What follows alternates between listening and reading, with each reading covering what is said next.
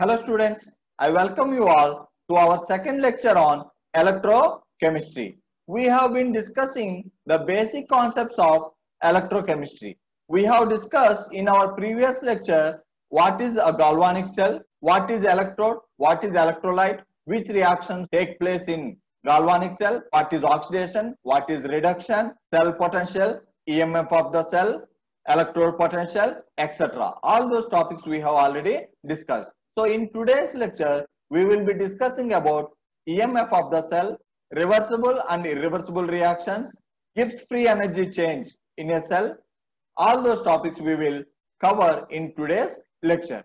Before we start our lecture, let me discuss about the syllabus which we have in semester 3 and semester 5.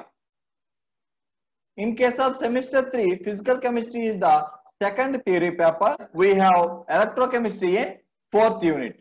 So in this fourth unit, we will cover reversible and irreversible cells, EMF of the galvanic cells and free energy change, Nast equation, equilibrium constant, standard electrode potential, types of reversible electrodes, concentration cells without transference, application of EMF measurements, determination of solubility product, pH, dissociation constants, and solubility of sparingly soluble salts. These are the topics which we have to cover in electrochemistry of semester 3.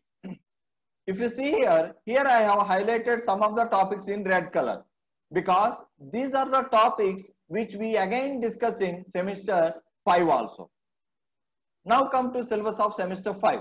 So semester 5 students have physical chemistry as third theory paper. So here we have electrochemistry in first unit. So first unit is electrochemistry. If you see here, again we cover concept of galvanic cells. Concept of galvanic cells means what is a galvanic cell, what is the difference between galvanic cell and electrolytic cell. All those concepts have to be covered. These concepts we have already discussed and it covers all the basic concepts about galvanic cells. And also we have to discuss about chemical cell and concentration cell.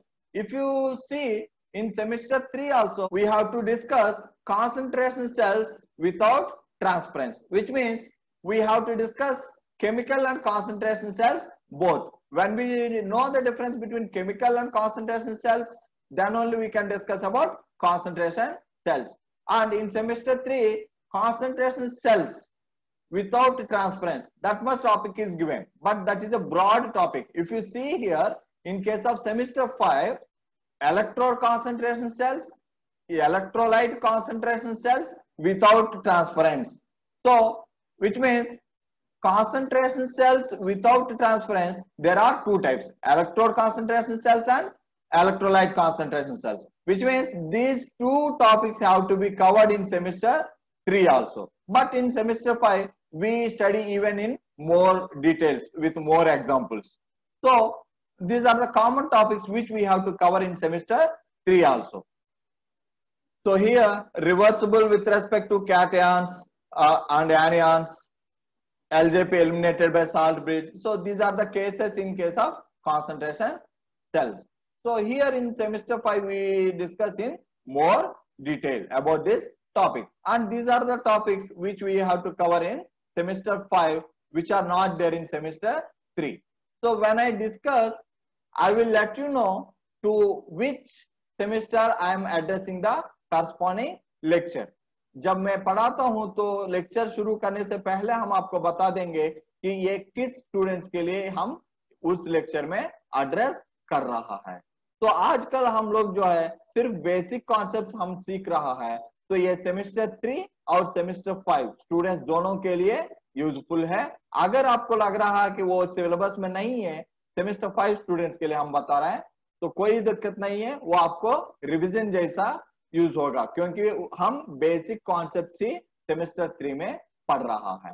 And semester three students you have to learn all the basic concept so I will let you know if I am addressing for only semester five students otherwise I am addressing for both the semesters if I address only for semester three and I will let you know that the class is only for semester three student so today's class is for both semester 3 and semester 5 So if some topics are in semester 3 only and not there in semester 5, I will let you know. Let us continue our lecture of electrochemistry. In our previous lecture, we have covered up to electrode potential. So if you see here, what is cell potential? Cell potential is the potential difference between the electrodes in a galvanic cell. And what is EMF? EMF is nothing but cell potential. But the case is it has to be maximum cell potential. So the maximum cell potential of a galvanic cell is known as EMF of the cell or when no current is drawn from the cell, the cell potential is known as EMF of the cell.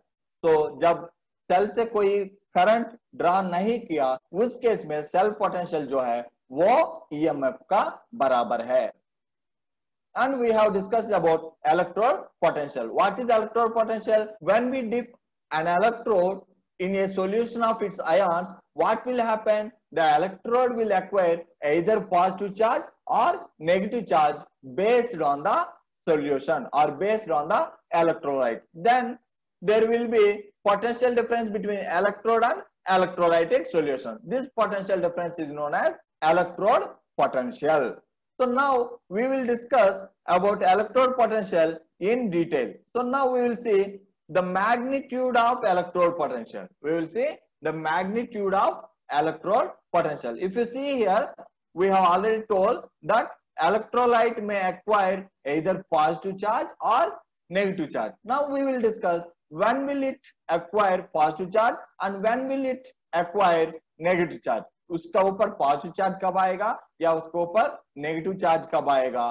तो उसका बारे में हम देखेंगे। So later discuss magnitude of electrode potential what do you mean by magnitude of electrode potential magnitude of electrode potential tells us about the relative tendency of a metal to lose electron or to gain electrons, which means एक metal oxidation reaction में participate करेगा या reduction reaction में participate करेगा।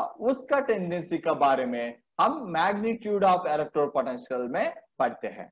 Let us discuss the magnitude of electrode potential so, the magnitude of electrode potential of a metal is a measure of its relative tendency to lose electrons or to gain electrons. That is oxidation or reduction. Now we will see what happens in oxidation reaction. In, in oxidation a metal will lose its electrons and will be converted into metal ions.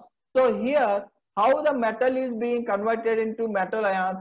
Because these metal ions are being attracted by the polar solvent molecules so say for example water.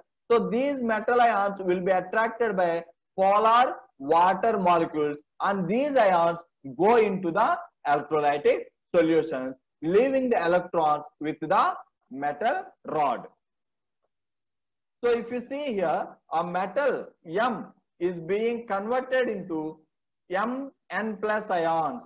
So यहाँ पर ये metal M जो है N electrons lose करके वो M N plus ion जैसा convert हो गया है। और ये एम एन प्लस आयन जो है इलेक्ट्रोलाइटिक सोल्यूशन में चला जाएगा। कैसे? क्योंकि ये आयन्स और वाटर मॉलिक्यूल्स के बीच में अट्रैक्शन फोर्सेस होगा और वाटर मॉलिक्यूल जो है, इन आयन्स को इलेक्ट्रोलाइटिक सॉल्यूशन में ले जाएगा। अब क्या होगा?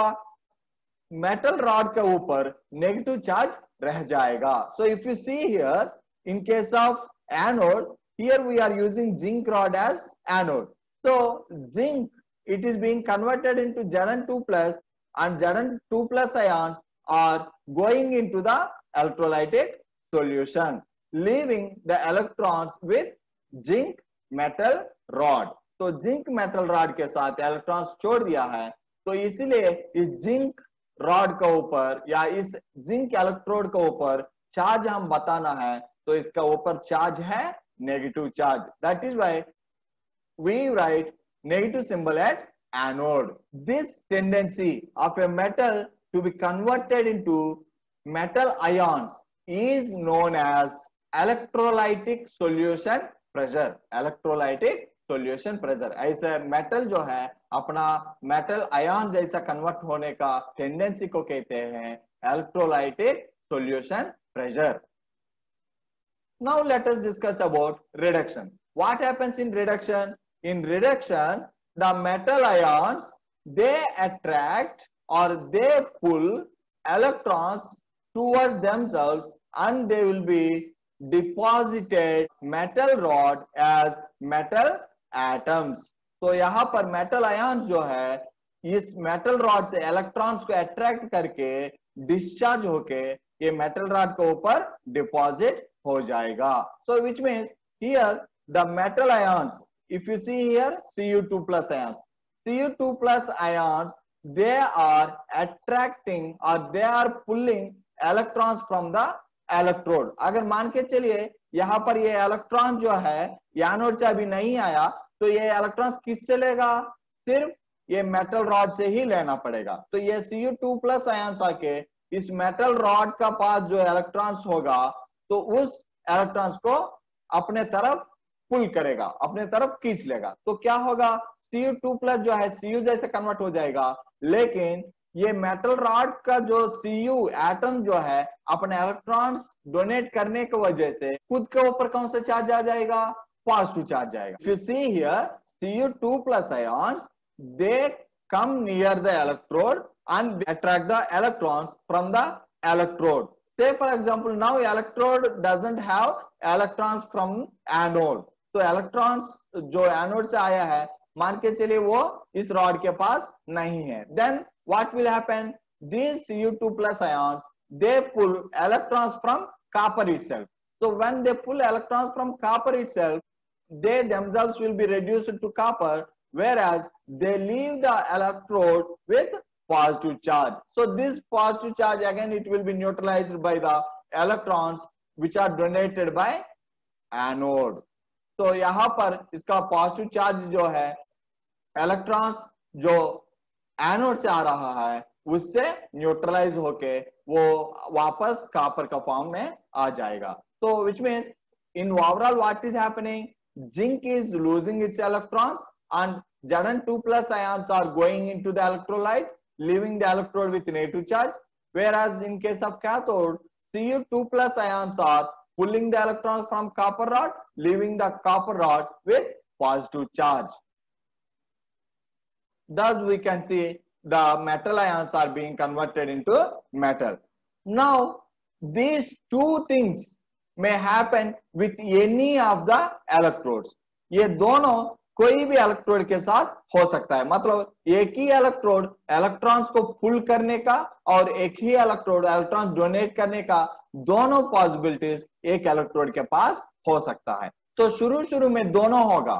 तो in starting both reactions happen with one electrode सिर्फ़ आप left hand side half cell ही ले लीजिए। तो उसमें आपको क्या है? जिंक रॉड है और वो इलेक्ट्रोलाइट में है। तो what will happen zinc can donate its electrons and will be converted into Zn2 plus ions. Or, again, there is possibility of Zn2 plus ions.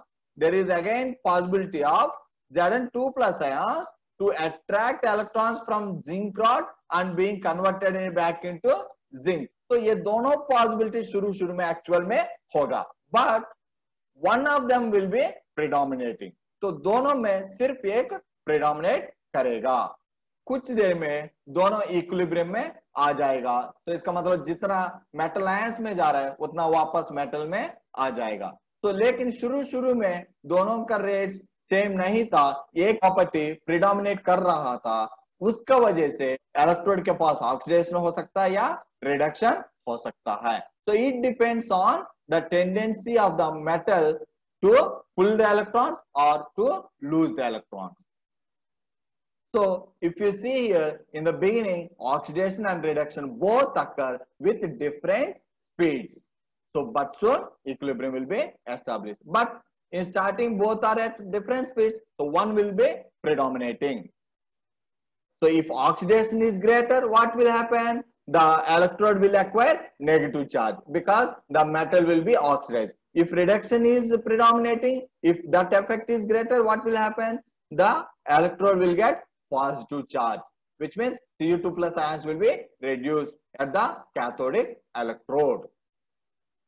Thus, whether oxidation has to take place or reduction has to take place. It depends on the tendency to lose electrons or to gain electrons.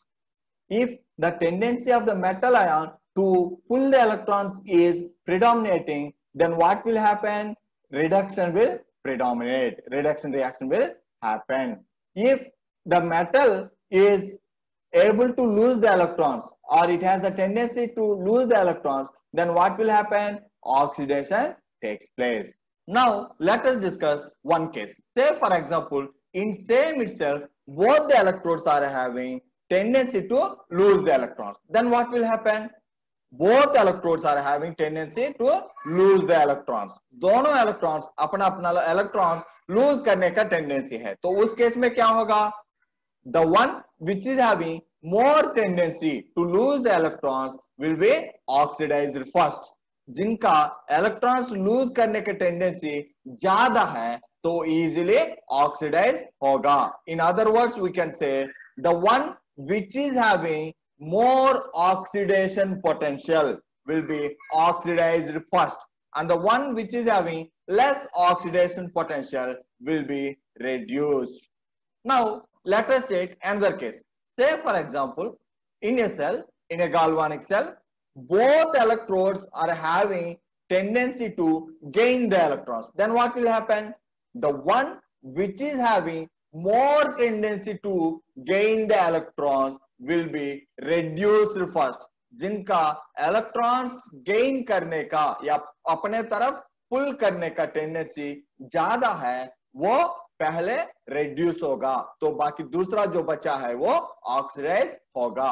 तो इसको दूसरा terms में कैसे कह सकते हैं? The one which is having more reduction potential will be reduced first and the one which is having less reduction potential will be oxidize usually we will be given with the reduction potential only according to IUPAC norms we only reduction electrode potentials IUPAC norms के हिसाब से हमें सिर्फ़ reduction potentials देते हैं इसीलिए हमें electrochemical series में जो भी पोटेंशियल्स होगा वो रिडक्शन पोटेंशियल्स हमें देते हैं Thus, if you see here in this electrochemical series, on top we have reduction potential values which are more. तो यहाँ पर इनका रिडक्शन पोटेंशियल वैल्यू ज़्यादा है वो टॉप में है, जिनका रिडक्शन पोटेंशियल वैल्यूज़ कम है, वो बॉटम में है। तो इसका मतलब जिनका रिडक्शन पोटेंशियल ज़्यादा होगा, वो easily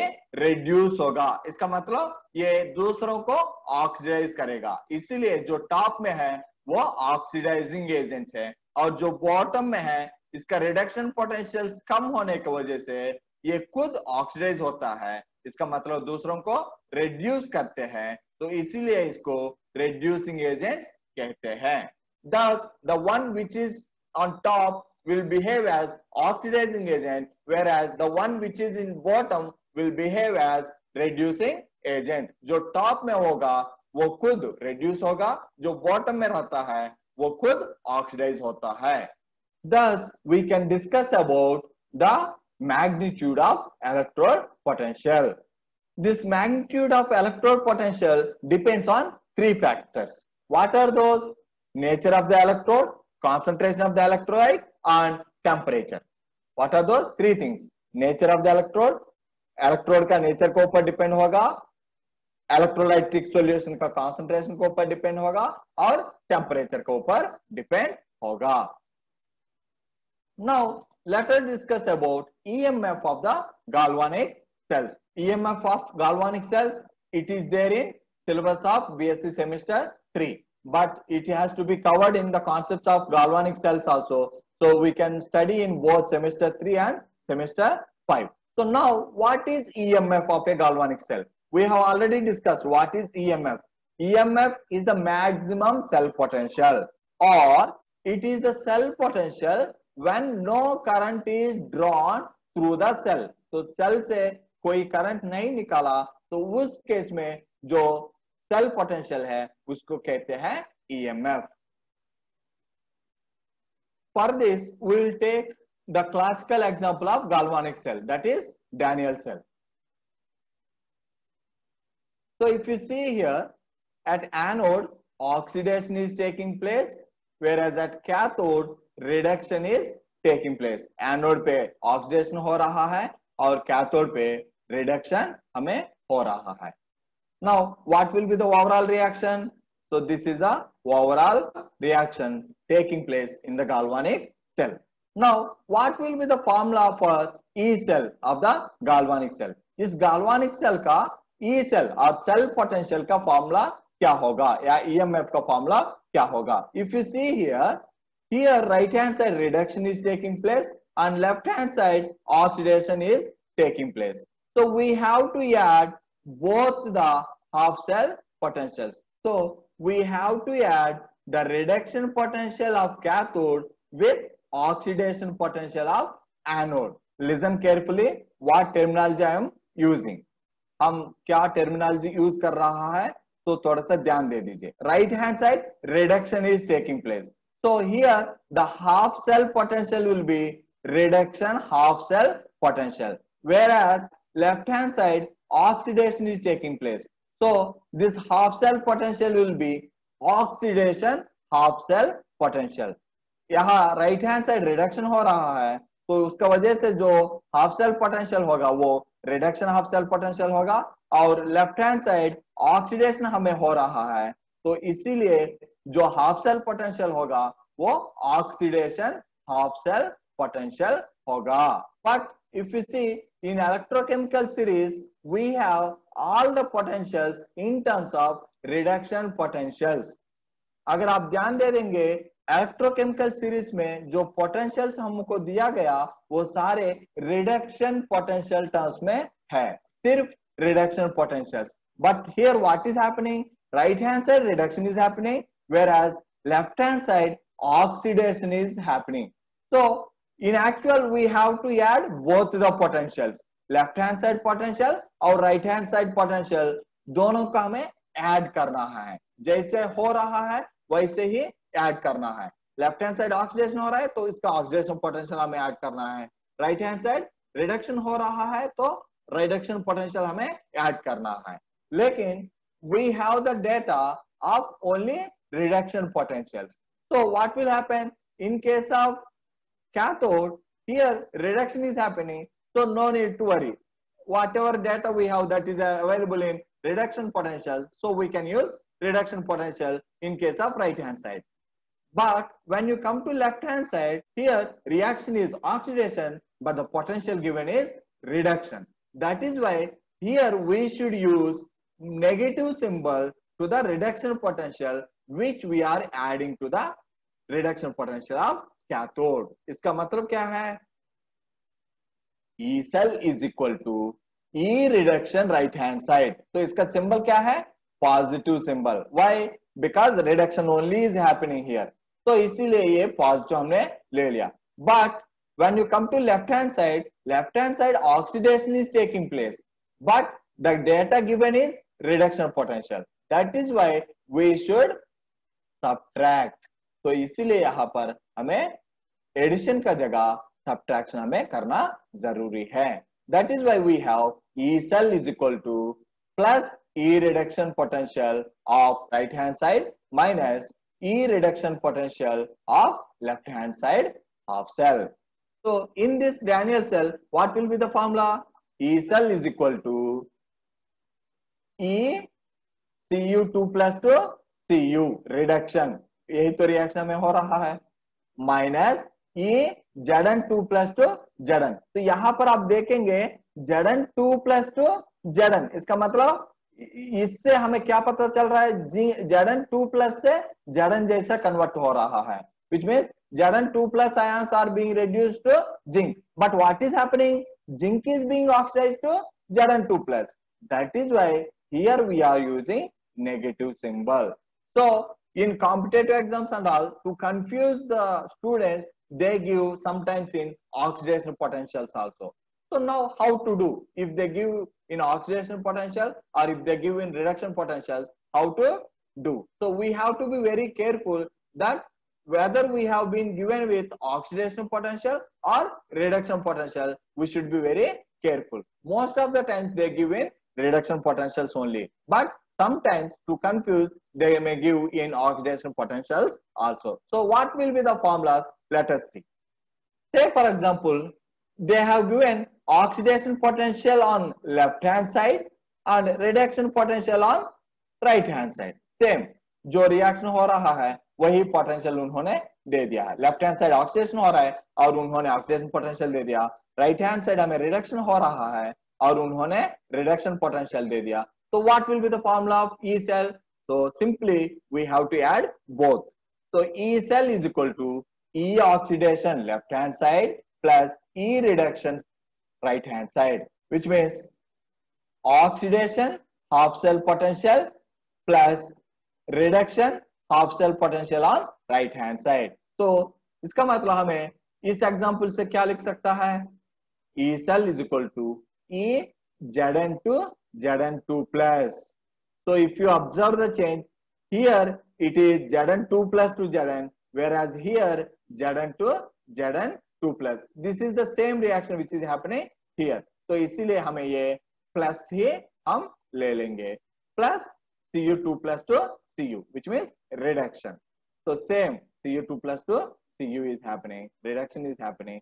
So that is why here we are adding both. Now, say for example, they have given both in oxidation potentials. Usually they given reduction potentials only, but say for example, they have given both in terms of oxidation potentials. What will happen? In case of anode, left hand side, no problem. Here oxidation is only happening. So oxidation potential is given. So we can use positive symbol. But come to cathode. Here reduction is happening, but they are giving oxidation potential. So we have to use negative here. Thus, E cell is equal to E oxidation left hand side minus E oxidation right hand side. Actual में right hand side हमें reduction हो रहा है लेकिन उन्होंने oxidation potential दे दिया इसीलिए हम लोग नेगेटिव सिंबल यूज़ कर रहा है तो if you see what will be the formula for E cell in this example, this will be equal to E cell is equal to E Zn2 Zn2 plus left hand side यही reaction हमें हो रहा है तो इसीलिए ये वाला positive no problem. Now come to right hand side. Actually what is happening? Cu2 plus to Cu is happening, but here they have given Cu2 Cu2 plus. That is why here we are using negative symbol. Now say for example both opposite they have given which means left hand side oxidation is happening but they have given reduction potential right hand side reduction is happening but they have given oxidation potential so how to write in e cell in that case we will see e cell is equal to minus e reduction left hand side why left hand side oxidation हो रहा है लेकिन उन्होंने दिया reduction इसीलिए negative symbol again minus E oxidation right hand side. Why? Because right hand side reduction is happening, but they have given oxidation potential. That is why we should use negative symbol. Thus, we can write E cell is equal to minus E Zn2 plus to Zn. In actual reverse is happening. Minus E Cu2 plus to Cu. Why? In actual reverse is happening. That is why in both cases we are using negative symbol. Thus, we can discuss about EMF of galvanic cells or we can say cell potential. Now, let us discuss about reversible galvanic cells and irreversible galvanic cells. In case of reversible galvanic cells, certain thermodynamic conditions have to be fulfilled. So, before seeing those conditions, let us take an example for this reversible galvanic cells. We will take again the classic example that is Daniel cell this is the overall cell reaction is happening and what is the standard cell potential value standard cell potential is equal to 1.1 volts. What do you mean by standard cell potential? Standard cell potential means the cell potential at standard conditions. What are those standard conditions? 1 atmospheric pressure 298 kelvin temperature and 1 molar concentration. If these three conditions are fulfilled, then the cell potential is equal to standard cell potential. Same thing is applicable in case of half cell potentials also. Say for example, E naught Zn 2 plus 2 Zn. So what is E naught? Which means here standard conditions are followed. What are those standard conditions? 1 atmospheric pressure, 298 Kelvin temperature and the concentration of zinc sulfate is 1 molar. In case of E naught Cu2 plus 2 Cu, what is the condition? 1 atmospheric pressure, 298 Kelvin temperature and 1 molar concentration of CuSO4. So thus we can take standard conditions.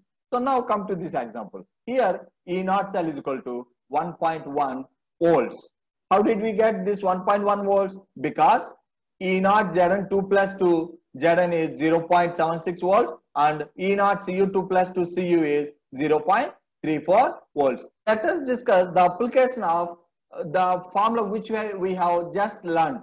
अभी जो formula हमने देखा था EMF कैसे निकालना है तो उससे इसका एप्लीकेशन हम एक बार देखेंगे कैसे see here here zinc is being oxidized and copper is being reduced. But if you observe, both are given reduction potentials. As copper is being reduced, same, which means here we should take positive. That means addition only. So plus 0.34 volts. But in case of anodic half cell, what is given? Reduction is given. But what is happening? Oxidation is happening. So what we have to do? Whatever potential is given, that has to be subtracted. It should not be added. It should be subtracted. So which means negative. Why this negative we are using? Because reduction potential is given, but oxidation is happening. That is why this negative we are using and its potential is minus 0 0.76 volts. So minus into minus plus. So plus 0.34 plus 0.76 both will be added to give 1.1 volts. Thus, we have got 1.1 volt. Now, how this galvanic cell can be called reversible cell? Let us see. It has to follow certain thermodynamic conditions. We will see what are those conditions. So, if you see here, what is the first condition? If the opposing EMF is exactly equal to the cell itself, no current is given out by the cell and no chemical reaction takes place इसका मतलब क्या है say for example from left hand side to right hand side electrons are being transferred यहाँ पर इस cell में हमें क्या होता है ऑलरेडी हमने देखा था जिंक रॉड से कॉपर रॉड का तरफ़ हमें इलेक्ट्रॉन्स ट्रांसफ़र हो रहा है तो electrons are being transferred from left hand side to right hand side which means electricity is being transferred from right hand side to left hand side how much is the electricity here we have seen that is 1.1 volts say for example we are applying opposite electricity by using outer source बाहर से एक source apply करके इसका opposite direction में हम electricity pass कर रहा है इसका मतलब ये इलेक्ट्रॉन्स फ्लो का अपोजिट डायरेक्शन में हम बाहर से हम इलेक्ट्रॉन्स फ्लो कर रहा है so what will happen say for example 1.1 volt we have applied from outside cell itself it has 1.1 volt but outside we are applying in opposite direction 1.1 volt so what will happen 1.1 volt minus 1.1 volt so both will be cancelled together so that 0 volt which means there is no net electricity is being produced from the cell which means no reaction happening in the cell तो इसका मतलब अगर बाहर से हम 1.1 volt electricity apply करेंगे तो ये रिएक्शन हमें बंद हो जाएगा और कोई करंट इससे हमें नहीं निकलेगा। Thus here we see if external EMF applied is minus one point one zero volt there is no cell potential overall there is no cell potential and there is no reaction now we will take another condition से for example we have applied one point zero nine volt current in opposite direction 1.09 volt इसका मतलब जो इसका potential कितना है? 1.1 volts है। लेकिन हम बाहर से 1.09 वोल्ट्स अपोजिट डायरेक्शन में हमने अप्लाई किया। इससे, इसका मतलब इससे थोड़ा सा कम which mean infinitesimally smaller than the self potential that much self potential we have applied in opposite direction so what will happen in earlier case zinc to copper electrons have flowed electron जो है zinc से लेकर copper का तरफ़ flow हुआ तो अब हमें क्या होगा ये खुद का जो है प्लस 1.1 वोल्ट्स है and in opposite direction we have applied 1.09 volts ये opposite direction है इसलिए हम माइनस लिखा है so what will happen plus 1.1 volt minus minus 1.09 volts so total we will have 0.01 volts in same direction तो इसका मतलब यहां पर आप देखेंगे तो सेम डायरेक्शन में थोड़ा सा करंट पास होगा which means extremely small current is given out by the cell and the correspondingly small amount of chemical reaction has taken place. Thus, when we have applied an infinitesimally smaller than the cell potential itself, that much potential is applied in same direction, current flowed. Now, we will see third condition. if an infinitesimally greater EMF than the cell itself is applied in opposite direction. What will happen? You might expect now. अभी क्या होगा opposite direction में ये 1.1 volt से थोड़ा सा ज़्यादा apply किया। से फॉर एग्जांपल हमने कितना अप्लाई किया? माइनस 1.11 वोल्ट करंट हमने बाहर से अप्लाई किया ऑपोजिट डायरेक्शन में। तो क्या होगा? खुद का जो है प्लस 1.1 वोल्ट है। और बाहर से जो अप्लाई किया माइनस 1.11 वोल्ट है। तो this is equal to how much minus zero point zero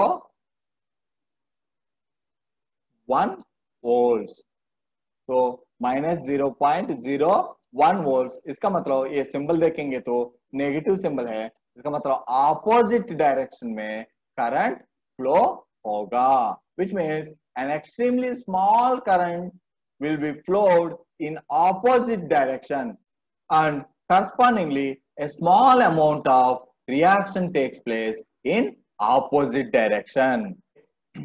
Opposite direction में रिएक्शन मतलब क्या है? इससे पहले हमें जिंक ऑक्सीडाइज हो रहा था और Cu2 प्लस जो है रिडक्शन हो रहा था। लेकिन अब क्या होगा? Zn2 प्लस रिडक्शन होगा और कापर ऑक्सीडाइज होगा। इसका मतलब हमें ऑपोजिट रिएक्शन होगा। जो नॉन स्पॉन्टेनियस रिएक्शन है, वो अभी पॉसिबल हो जाएगा। इसका मतलब गाल्वानिक सेल जो है इलेक्ट्रोलाइटिक सेल जैसा काम करेगा। And what will be the direction of flow of electrons इसका पहले इलेक्ट्रॉन्स जिंक से कापर का तरफ़ फ्लो हो रहा था, लेकिन अभी इलेक्ट्रॉन जो है कापर से जिंक का तरफ़ फ्लो होगा। इसका मतलब ऑपोजिट डायरेक्शन में इलेक्ट्रॉन्स फ्लो होगा। अगर ये तीनों कंडीशंस सेटिस्फाई हुआ if these three conditions are followed by a galvanic cell then that galvanic cell is known as reversible galvanic cell now we will discuss about irreversible galvanic cell irreversible galvanic cell concept is little different irreversible galvanic cell में concept थोड़ा सा different है थोड़ा सा और ध्यान दे दीजिए for irreversible galvanic cell we are taking a cell reaction in which zinc is being oxidized and H plus is being reduced. तो यहाँ पर जिंक और कापर दोनों इलेक्ट्रोड्स हैं और H2SO4 एक्वा सॉल्यूशन जो है वो इलेक्ट्रोलाइट है। तो लेकिन ओवरऑल सेल रिएक्शन हम देखेंगे तो सिर्फ़ जिंक और H प्लस के बीच में हमें रिएक्शन हो रहा है। Why? So if you see here here we are having reduction potential of zinc is minus 0.76 volts and reduction potential of hydrogen is 0 volts whereas reduction potential of copper is plus 0.34 volts we have one concept the one which is having more reduction potential will be reduced first and the one which is having less reduction potential will be oxidized first तो less reduction potential मतलब इसका opposite क्या है मोर oxidation potential जिनका मोर oxidation potential होगा, वो easily oxidise होगा। जिनका मोर रिडक्शन पोटेंशियल होगा, वो इजीली रिड्यूस होगा। तो कोई भी रिएक्शन में कौन ऑक्सीडाइज होगा? जिनका ऑक्सीडेशन पोटेंशियल ज़्यादा है, वो इजीली ऑक्सीडाइज होगा। जिनका रिडक्शन पोटेंशियल ज़्यादा है, वो इजीली रिड्यूस होगा। लेकिन इन यूजुअल हमें सारे वैल्यू जो है रिडक्शन पोटेंशियल्स में देते हैं। इसीलिए इसको हम ऐसे कह सकते हैं जिनका रिडक्शन पोटेंशियल ज़्यादा है वो इजिली रिड्यूस होगा और जिनका रिडक्शन पोटेंशियल सबसे कम है वो इजिली ऑक्सीडाइज होगा अब यहाँ पर हम ये तीनों देखेंगे तो किसका रिडक्शन पोटेंशियल सबसे ज़्यादा है Cu2 प्लस का तो यहाँ पर Cu2 प्लस का प्लस 0.34 तो Cu2 plus has to be reduced easily. But if you see here in this solution, do we have Cu2 plus? इस सॉल्यूशन में C U two plus ions हमें है अवेलेबल है? नहीं है। तो यहाँ पर सी टू प्लस आयांस हमें रिड्यूस होने के लिए अवेलेबल नहीं है। अब बचेगा कौन? H plus ions and zinc case ये दोनों हमें बचा है। तो if you see in case of hydrogen reduction potential is zero in case of zinc reduction potential is minus zero point seven six तो इन दोनों में किसका रिडक्शन पोटेंशियल ज़्यादा? हाइड्रोजन का। तो हाइड्रोजन का रिडक्शन पोटेंशियल ज़्यादा होगा तो वो इजिली रिड्यूस होगा तो which means here we have H plus two H2 इसका मतलब H प्लस से H2 रिड्यूस होने के लिए हमें यहाँ पर H प्लस आयांस अवेलेबल है। तो इसीलिए H प्लस जो है रिड्यूस हो सकता है, अब जो बचा है जिंक वो ऑक्सीडाइज हो सकता है। अगर ऑक्सीडेशन के लिए इन दोनों के बीच में कंपेयर करेंगे तो जिनका रिडक्शन पोटेंशियल सबसे कम है वो इजीली ऑक्सीडाइज होगा। तो रिडक्शन पोटेंशियल सबसे कम किसका है? Z N two plus two Z N zinc का है। तो इसका मतलब ये जिंक का केस में ये ऑक्सीडाइज इजीली होगा और हाइड्रोजन का केस में ये रिडक्शन में पार्टिसिपेट करेगा। तो इसीलिए हमें ओवरऑल रिएक्शन देखेंगे। तो जिंक और H प्लस आयंस का बीच में है। Now, what will be the cell potential of this reaction? What is the reduction potential at cathode minus reduction potential at anode or reduction potential right hand side minus reduction potential left hand side तो reduction potential क्या है हमें plus 0.0 volts तो 0.0 volts ये hydrogen का जो है cathode के पास हो रहा है और एनोड के पास क्या हो रहा है ऑक्सीडेशन हो रहा है लेकिन हमें रिडक्शन पोटेंशियल दिया तो इसीलिए हमें सब्ट्रैक्ट करना ज़रूरी है तो 0.0 volts minus zero point minus 0.76 volts तो माइनस इंटू माइनस प्लस दस we get E naught cell is equal to plus 0.76 volts. Now we will apply the three conditions which we have seen in case of reversible galvanic cell. जो reversible galvanic cell में तीन conditions हमने देखा वही तीन conditions यहाँ पे भी apply करेंगे Now say for example we have applied an external EMF which is slightly smaller than that of the cell. cell है plus zero point seven six volt मान के चले हम बाहर से अप्लाई किया minus zero point seven five volt तो what will happen खुद का जो है plus zero point seven six volt है।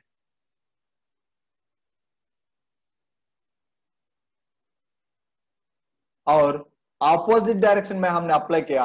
ये ऑपोजिट डायरेक्शन में अप्लाई किया तो इसको सब्ट्रैक्ट करना है। तो इसीलिए यहाँ नेगेटिव सिंबल भी हमने दिखाया है। ये नेगेटिव सिंबल हमें ये रिप्रेजेंट करता है कि हम जो पोटेंशियल अप्लाई कर रहे हैं, वो ऑपोजिट डायरेक्शन में अप्लाई किया। तो what will happen we will get overall plus 0.01 volts तो स्टार्टिंग भी हमें पॉजिटिव था और अभी रिज़ल्ट भी पॉजिटिव है। इसका मतलब सेम डायरेक्शन में हमें थोड़ा सा करंट फ्लो होगा और इसी का corresponding little reaction will take place जैसे रिवर्सिबल रिएक्शन में देखा था, यहाँ पे भी सेम है। Now come to application of equal potential if you see here here we have applied in opposite direction minus zero point seven six volt इसका मतलब equal but in opposite direction उतना ही ऑपोजिट डायरेक्शन में apply किया। तो क्या होगा? इसका मतलब हमें कोई करंट फ्लो नहीं हुआ। तो there will be no net reaction तो इसलिए कोई रिएक्शन भी यहाँ पर हमें नहीं हुआ। तो इसका मतलब दो कंडीशन सेम हो गया, जैसे रिवर्सिबल में हुआ था। Now come to third condition this is the crucial condition तो थोड़ा सा ध्यान से सुनिए और समझने के लिए कोशिश करिए। Say for example we have applied 0.77 volts of potential in opposite direction मान के चले हमने 0.77 वोल्ट्स हमने ऑपोजिट डायरेक्शन में अप्लाई किया। So what do we expect हम क्या एक्सपेक्ट करेंगे? There should be minus 0.01 volts of current flowed in opposite direction ये हम एक्सपेक्ट करेंगे। तो but what will happen if you see here when we have applied minus 0.77 volts minus 1.11 volts of current is flowed in opposite direction. हमने कितना expect किया? Minus zero point zero one volt लेकिन हो क्या रहा है? Minus one point one one volt current flow हुआ या पास हुआ। कैसे? अब हम इसका एक्सप्लेनेशन देखते हैं। तो ऐसे मतलब जो एक्सपेक्ट हुआ, उससे एक्सट्रीम हुआ, जो एक्सपेक्ट किया, उससे कुछ और इसमें हुआ है तो इसीलिए इस सेल्स को इरिवर्सिबल गाल्वानिक सेल कहते हैं, क्योंकि जो थर्ड पॉइंट जो है, वो फॉलो नहीं हुआ। तीनों फॉलो होगा, तभी रिवर्सिबल रिएक्शन है। अगर एक भी फॉलो नहीं हुआ, वो irreversible reaction now let us see explanation for this तो इसके लिए एक्सप्लेनेशन हम अभी देखेंगे। In case of reversible galvanic cells I have told you one point what when we have applied a current slightly more than the current of the cell itself, what happens? Opposite reaction takes place. What is the opposite reaction? Which is a non-spontaneous reaction. तो actual में जो forward reaction है वो spontaneous reaction था लेकिन opposite जो हो रहा है वो नॉन स्पॉन्टेनियस है तो अपोजिट में नॉन स्पॉन्टेनियस रिएक्शन में क्या हुआ था जो रिड्यूस हो रहा था पहले वो ऑक्सीडाइज हो रहा है जो पहले ऑक्सीडाइज हो रहा था वो अभी रिड्यूस हो रहा है। इसका मतलब अपोजिट हो रहा है। तो इस केस में भी जब हमने ज़्यादा इलेक्ट्रो पोटेंशियल अप्लाई किया सेल पोटेंशियल से भी ज़्यादा पोटेंशियल हम अप्लाई करेंगे तो इस केस में भी हमें रिवर्स रिएक्शन होना है। इसका मतलब इस केस में जो ऑक्सीडाइज हो रहा था, वो रिड्यूस होगा। जो रिड्यूस हो रहा था, वो ऑक्सीडाइज होना चाहिए। जो इसका पहले ऑक्सीडाइज हो रहा था, वो अभी रिड्यूस होगा। जो इसका पहले रिड्यूस हो रहा था, वो अभी ऑक्सीडाइज होना है। लेकिन हमें कंडीशन क्या है? कौन इजीली रिड्यूस होगा? जिनका रिडक्शन पोटेंशियल ज़्यादा है, वो इजीली रिड्यूस होगा। जिनका रिडक्शन पोटेंशियल सबसे कम है, वो इजीली ऑक्सीडाइज होगा। लेकिन अभी कंडीशन क्या है? रिवर्स हो गया। इसका मतलब क्या है? जिनका रिडक्शन पोटेंशियल सबसे कम है, वो इजीली रिड्यूस होगा। और जिनका रिडक्शन पोटेंशियल सबसे ज़्यादा है वो इजीली ऑक्सीडाइज होगा। Now come to the values which we have ये है वैल्यूज़ हमें इसका पहले क्या हो रहा था? जिंक जो है ऑक्सीडाइज हो रहा था। तो इसका मतलब अभी जिंक रिड्यूस होना है। जिंक रिड्यूस होना है। तो रिड्यूस होने के लिए अगर हम देखेंगे तो वहाँ पर हमें जेड टू प्लस आयांस नहीं है। और सी टू प्लस आयांस भी रिड्यूस होने के लिए नहीं है। हमें रिड्यूस होने के लिए सिर्फ़ क्या है? H प्लस आयांस है। तो रिड्यूस होने के लिए और कोई चॉइस हमारे पास नहीं है। तो सिर्फ़ H प्लस का केस है। तो ये हमें इस केस में भी ये रिड्यूस ही होगा। अब ऑक्सीडाइज होने के लिए दो कंडीशंस हैं। व्हाट आर दोस्त एक कापर का केस है और एक जिंक का केस क्या होना है? ऑक्सीडाइज होना है। रिडक्शन तो ऑलरेडी हो गया। अब ऑक्सीडाइज होना है। तो कंडीशन क्या है? यूजुअल कंडीशन क्या है? जिनका रिडक्शन पोटेंशियल सबसे कम है, वो ऑक्सीडाइज होगा। लेकिन अब क्या हुआ? अब रिवर्स हो गया है। तो रिवर्स केस में क्या है? जिनका रिडक्शन पोटेंशियल सबसे ज़्यादा है, वो ऑक्सीडाइज होगा। तो अब रिडक्शन पोटेंशियल सबसे ज़्यादा किसका है? जिंका या कापर का है? तो हम देखेंगे कापर का रिडक्शन पोटेंशियल ज़्यादा है और ये अभी ऑक्सीडाइज होगा। अब ये अभी हमें क्या होगा? ऑक्सीडाइज होगा। तो इसका मतलब हमें कॉपर ऑक्सीडाइज होगा और हाइड्रोजन रेड्यूस होगा। तो इसीलिए हमारा सेल रिएक्शन देखेंगे तो कॉपर ऑक्सीडाइज हो रहा है और हाइड्रोजन रेड्यूस हो रहा है। तो इसका सेल पोटेंशियल क्या होगा? E cell is equal to cell potential ये तो स्टैंडर्ड कंडीशंस हैं। तो इसीलिए ई नॉट सेल तो E naught cell is equal to हाँ क्या होगा? पहले जो रेड्यूस हो रहा है, कौन रेड्यूस हो रहा है? हाइड्रोजन तो E naught H plus two H two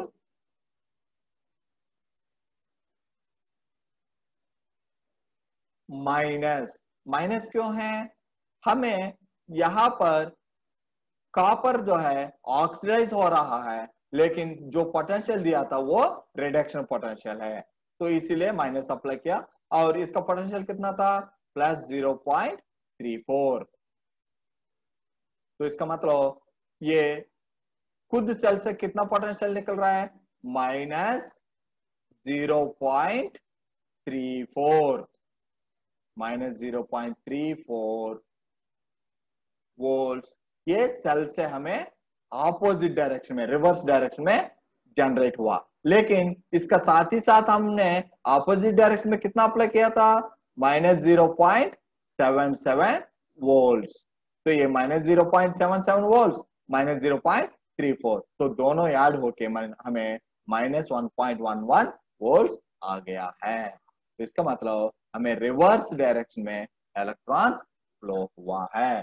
तो इस सेल्स को कहते हैं irreversible galvanic cells. Thus, when reversible current is very high, then the one which is having less reduction potential will be reduced first. But here we do not have, have Zn2 plus ions in the solution. We have only option with H plus ions. Thus, H plus ions will be reduced and copper will participate in oxidation. Thus, we can explain irreversible reactions. So since this topic itself has taken much time, I am concluding today's lecture with this. ये वाला topic जो है बहुत समय ले लिया है तो इसीलिए आज का क्लास का हम यहीं पे विराम दे रहा है तो we will discuss about ionic activity, mean ionic activity, and uh, give free energy changes, Nast equation, etc. in our next class. हमारा अगले क्लास में activity, mean ionic activity, gives free energy changes in a galvanic cell, and uh, Nast equation, etc. All those topics we will discuss. Whatever topics we have discussed and whatever the topics we are going to discuss in our next class, all are very important concepts for both semester three and semester five. आज का class में जो topics हमने देखा था और आगे का क्लास में हम जो देखेंगे ये सारे टॉपिक जो है सेमेस्टर थ्री और सेमेस्टर फाइव दोनों स्टूडेंट्स के लिए इम्पोर्टेंट है तो तो keep on studying this topics If you have any doubts, you can post your doubts in the comment sections. I will clarify the doubts. Keep studying. Thank you.